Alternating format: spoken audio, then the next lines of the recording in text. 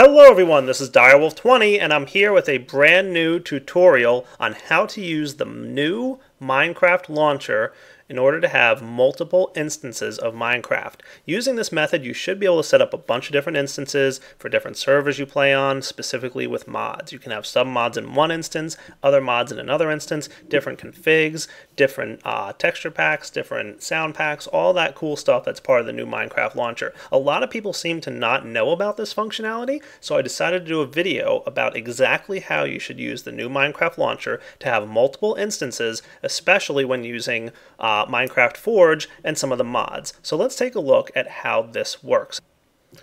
Okay, to get started, the first thing you're going to want to do is launch Minecraft. And you'll see that as soon as you do that, in your app data roaming folder, it's going to go ahead and create a .minecraft. Perfect.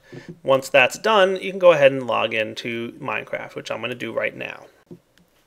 Once your login is complete, you'll go ahead and see that a profile is automatically created with your player name, Perfect. You can also see that the .minecraft folder contains a few small things. Once you click play is when it actually downloads everything it needs from the Minecraft uh, website and it gets all kinds of different stuff for you. Great. Once you've logged into the game, you're pretty much set and ready to play vanilla Minecraft. However, I want to show you something with mods, so we want to install Forge. As you've seen in my Forge video in the past on how to install Forge for Minecraft 1.6, you want to download one of the installers and double click it it's going to automatically default to your Forge. Uh, your Forge install is going to automatically default to your uh, Minecraft install. So just click OK here. If you have installed it somewhere else, you'll have to browse out to that path. Once your install is complete, you'll see the successfully installed Forge message. Perfect. Now when we go ahead and launch Minecraft, we should see now that we have two instances, one for your vanilla instance and another for Forge. Simply choose the Forge one and go ahead and let it use the existing user that you're already logged into by clicking on Play. So with this, we now have two different instances already. We have one that's purely vanilla and one that's for Forge. When we click play on the Forge instance, it's going to go ahead and log in. It's going to apply the Forge install and all that good stuff. Now we can see here that we have MCP, FML, and Minecraft Forge installed, and currently there's just a few mods that are come along with Forge. Perfect. At this point, you've already seen everything that's in this video probably, but let me show you now how to have separate instances for the mods. What I'm going to do is go ahead and launch Minecraft once more. And instead of going ahead and using the Forge instance, I'm going to click New Profile. Now we can create a copy of the Forge profile somewhere else. I'm going to place it in this folder right here on my desktop in the Minecraft instances folder that I've been demonstrating so far. I can choose which directory to store this in by choosing the game directory. Instead of having it in the .minecraft folder by default, I'm going to go ahead and place it in that Minecraft instances, and we'll call it instance 1. Okay. You can have all kinds of other settings in here. And you can also choose your version of Forge. Right now you can see we've got Forge version 9.10.1.859. You can also add in your JVM arguments down here to expand the perm size or how much memory is allocated to Minecraft. But for now, we won't get into anything too complicated. I'll simply click Save Profile. It's by the way called Copy of Forge. If you want to name it something else, for example, match it up with the name I gave it, Instance 1, we can hit Save Profile here, and you can see how easy it was to change that. I'm going to go ahead and click Play on Instance 1. Let's see what happens. Note that it created that instance 1 folder in that folder that I told it to. Perfect. In there, it's got a couple things that we can set up. For example, it created the config, mods, resource packs, saves, and stats folder. Anything we do in this instance will be saved in this folder. So we can install mods here, and we can install config files for mods. We can even install resource packs and create saved worlds in this instance. And it won't affect the original .minecraft instance up here. Let's demonstrate this by creating a single player world.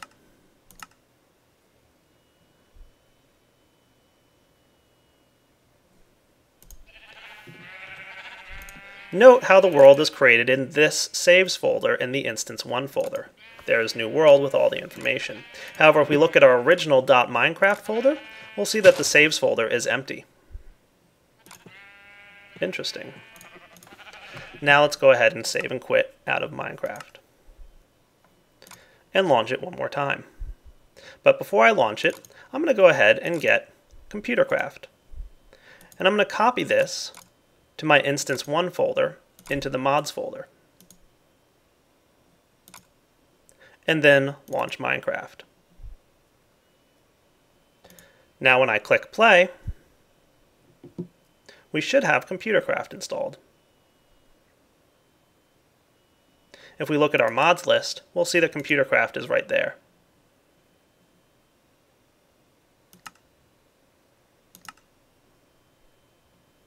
I'm going to go ahead and create a second instance by clicking on my Forge instance originally and click New Profile. And I'm going to call this Instance 2. My game directory will again be my desktop folder right here, Minecraft instances, but I'll call it Instance 2. And click Save Profile. Now I've got a second instance ready to go. The first time I launch it, it'll create that second instance folder. There it goes. It's got its own set of saves, resource packs, and mods. Note now on the mods list, Computercraft isn't here.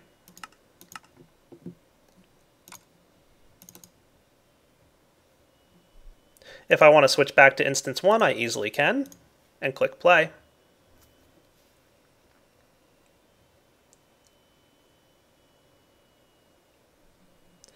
Now looking at the mods list, we'll see Computercraft is once again there. You can install separate mods and separate config files. For example, if I wanted to grab Bibliocraft and Applied Energistics, I'll copy these into the Instance 2 folder under Mods.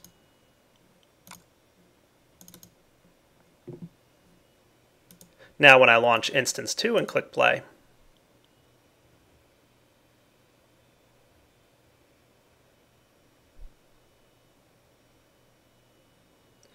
we should see that Applied Energistics and Bibliocraft are installed, but Computercraft is not here. That's only installed in Instance 1.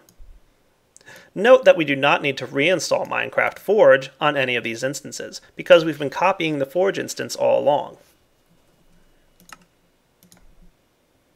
If you'd like to have multiple versions of Forge installed, for example, I originally installed version 859. Let's try installing version 870. Simply double click on it and click OK. When we launch Minecraft, see how we have multiple instances.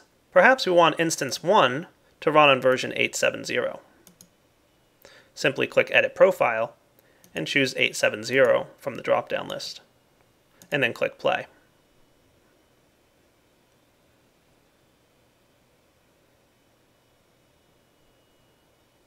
we can see down here that we're indeed on Minecraft Forge version 8.7.0.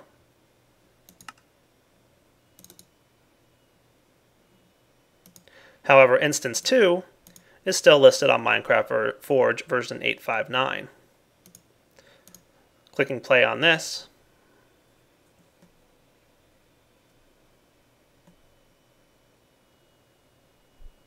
you'll see that this is on Minecraft Forge version 8.5.9.